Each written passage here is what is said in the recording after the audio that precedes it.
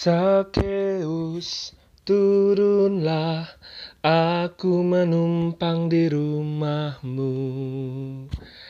Halo adik-adik. Nah, di sini siapa yang pernah dengar lagu itu ya?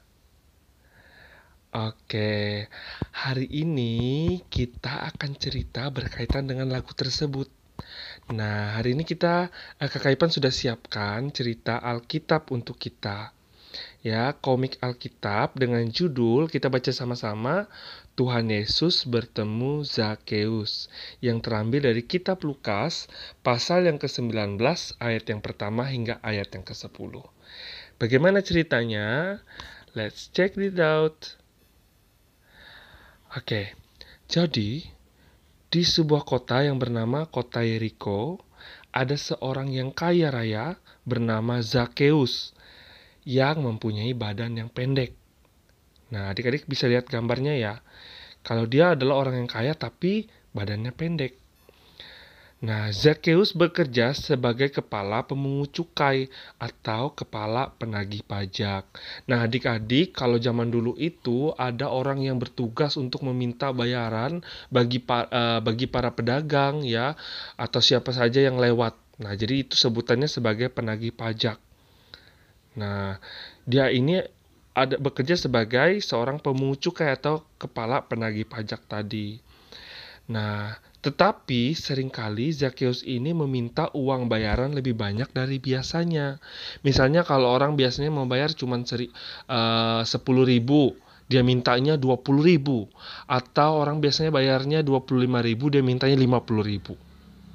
Nah, karena itu orang-orang orang-orang lain tidak menyukai Zakheus. Ya. Nah, sampai suatu ketika, suatu hari terdengar kabar bahwa Tuhan Yesus akan melintasi kota Yeriko. Nah, benar saja, Tuhan Yesus masuk ke kota Yeriko dan berjalan terus melintasi kota tersebut. Nah, pada zaman itu Tuhan Yesus sangat terkenal ya dengan segala mukjizat, dengan hal-hal yang sudah ia lakukan. Nah, oleh sebab itu, orang sangat bergembira dan bersuka cita apabila dia mengetahui bahwa ada kota yang didatangi oleh Tuhan Yesus. Nah, kebetulan kota Yeriko itu ya, pada saat itu Tuhan Yesus melewatinya. Nah, kemudian Zakheus pun ingin melihat Tuhan Yesus, ya.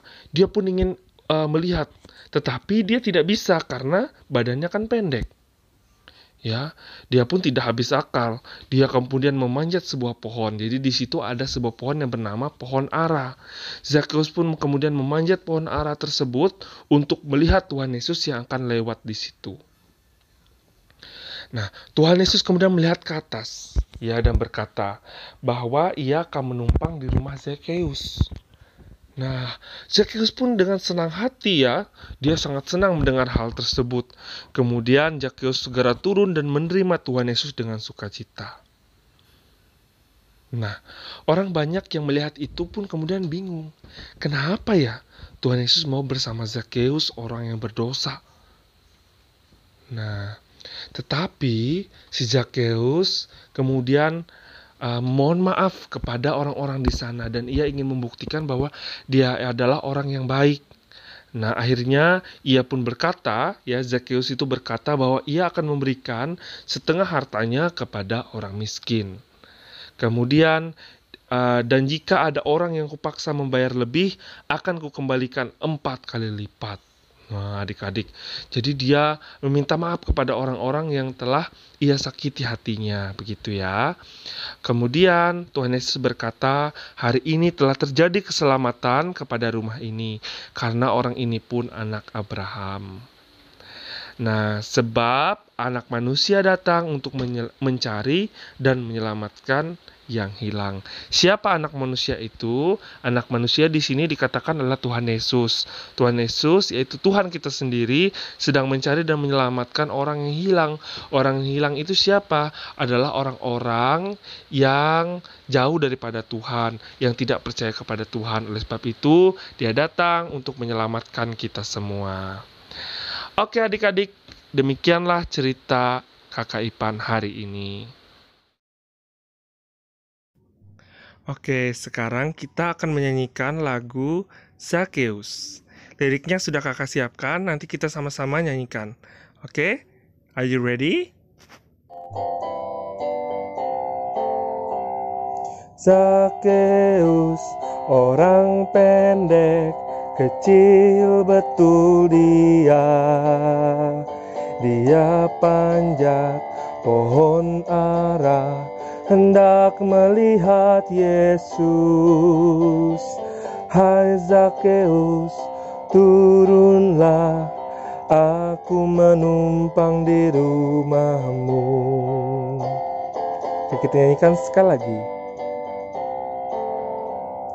Zacchaeus, orang pendek, kecil betul dia.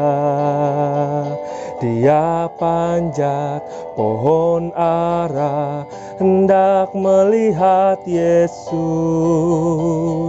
Hai Zacchaeus, turunlah, aku menumpang di rumahmu.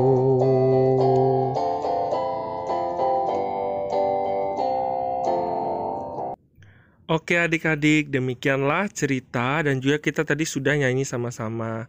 Semoga semuanya happy ya. Oke, sampai ketemu lagi dengan cerita-cerita kita selanjutnya. Bye-bye.